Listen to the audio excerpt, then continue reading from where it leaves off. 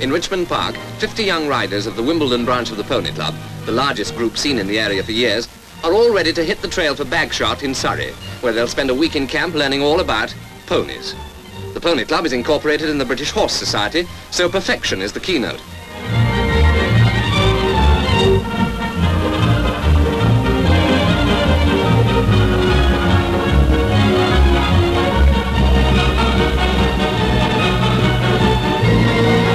Richmond Park's Robin Hood Gate to the end of the trail, it's five hours in the saddle, but there's an hour's break for lunch at Chertsey, and car escorts are watching over them with snacks and raincoats and other comforts.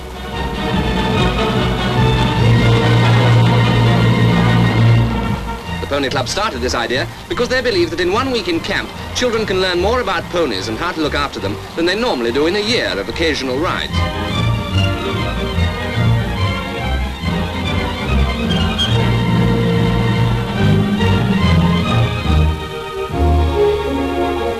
They're taught to feed and water their ponies before they have their own meals.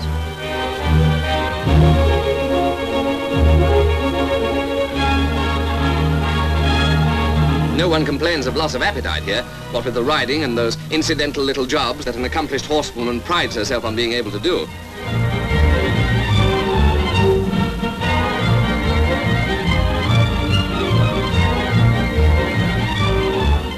Tomorrow it's Gymkhana Day. An ultra-smart turnout is essential. Their parents will be watching them too. And this is it.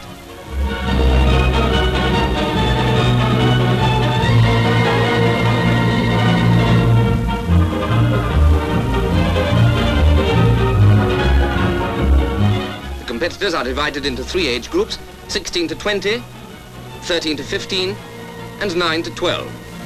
This skillful little rider only just made the 9 to 12s. Rosettes are presented to the winner and the runners-up. And now the gymkhana's over, but the country rides are left and the picnics and the cinema shows and the campfires with the sing-songs. And of course, the simple pleasure of feeding the ponies.